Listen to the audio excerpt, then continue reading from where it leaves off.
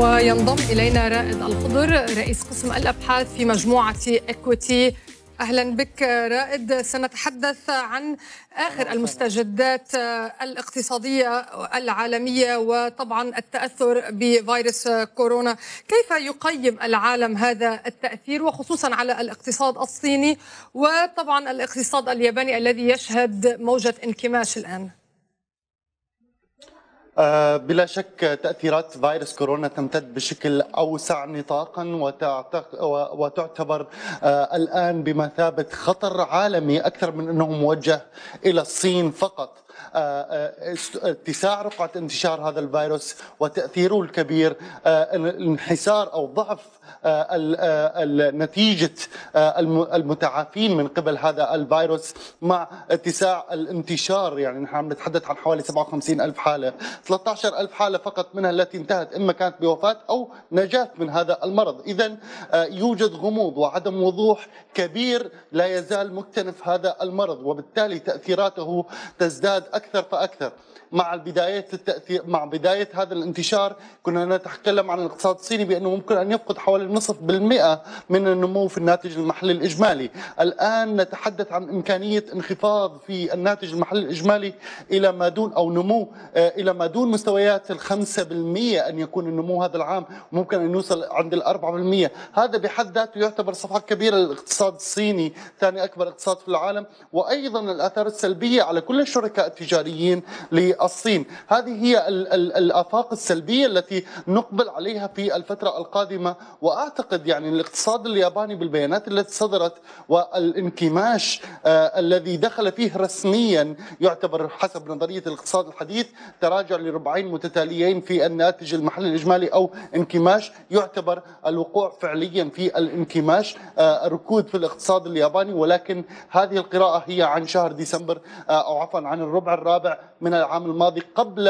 أن يكون هناك إعلان لفيروس كورونا وبالتالي السلبية ممكن أن تكون أكبر في الفترة القادمة مع الآثار السلبية من فيروس كورونا وتأثيراتها على الاقتصاد الياباني وباقي الاقتصادات العالمية كذلك الأمر. نعم يعني رأيي يبدو أن الحريق يمتد إلى الأقاليم والدول المجاورة. اليابان الآن في أسوأ انكماش منذ العام 2014 يعني إلى أي مدى بالضرورة أن كورونا ستبدأ في الظهور عبر آثارها الاقتصادية في بعض الدول خاصة المنكشفة على الصين. يعني اولا نتحدث نحن عن البيانات الاقتصاد الجزئي التي ننتظرها، ما ننتظره إنتاج المصانع طلبات الصناعات التحويلية، طلبات المصانع، طلبات السلع المعمرة، كل هذه القطاعات قطاع التجزئة جميعها قراءات تأتي بعد شهر أو بعد ثلاثة أشهر حتى نرى بالضبط كيفية التأثير السلبي لفيروس كورونا على الاقتصاد، وأعتقد هنا يعني هناك عدم ثقة نوعا ما بالبيانات الصادرة سواء كان من الاقتصاد الصيني أو من الاقتصادات العالمية لأنه اولا لا تزال القراءات ممكن أن تكون أكثر سوءا من الذي نشهده حاليا. الإجراءات التحفيزية التي يتم اتخاذها إنما هي عبارة عن بنج موضعي مؤقت ومن ثم يعود الألم الحقيقي وهو إمكانية استمرار هذا الضعف في القراءات الاقتصادية لفترة قد تمتد أكثر من ستة شهور.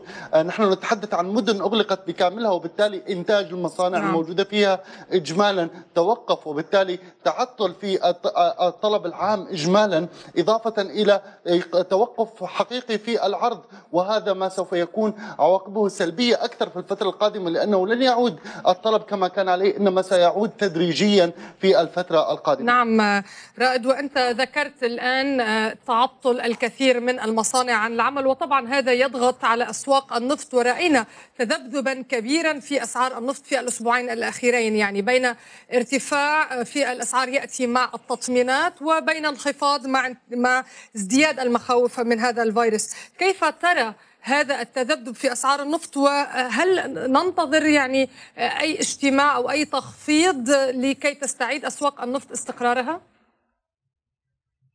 يعني نحن تحدثنا سابقا عن مستويات ال 50 دولار برميل على أنها هي مستويات الاستقرار نوعا ما التي تحمي النفط من مزيد من التراجعات، فقدان هذه المستويات بلا شك سوف يكون هناك عواقب سلبية كبيرة وتضغط بالاتجاه الهابط وصولا إلى مستويات 42 دولار البرميل إذا لم يتم التدخل من قبل أوبك بلس التي أعتقد أنها سوف تتدخل ولكن ليس بالإجماع الكامل على أن يكون هناك مزيد من التخفيض في الإنتاج. لأنه نحن نتحدث عن بعض الدول التي لا تستطيع التخلي عن حصصها السوقية. ولكن آه، في الوقت الراهن الحصص السوقية اجمالا العالمية في آه، وضع صعب وفي منطقة حرجة ووقت حرج إن صح التعبير لأنه هناك تراجع قوي جدا في الطلب. وبالتالي أسعار النفط ممكن أن تكتسب التوازن إذا ما كان هناك احتواء أسرع للفيروس من أن يكون هناك إجراءات تحفيزية للاقتصادات